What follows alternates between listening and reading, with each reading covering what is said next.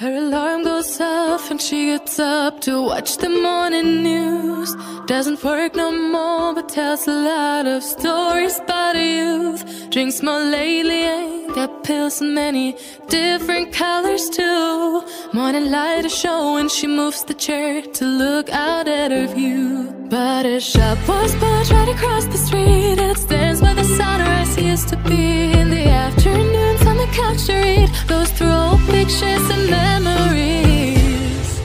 heroes have been forgotten. Our heroes so brave and bold. Our heroes have been forgotten. Our heroes so they got old.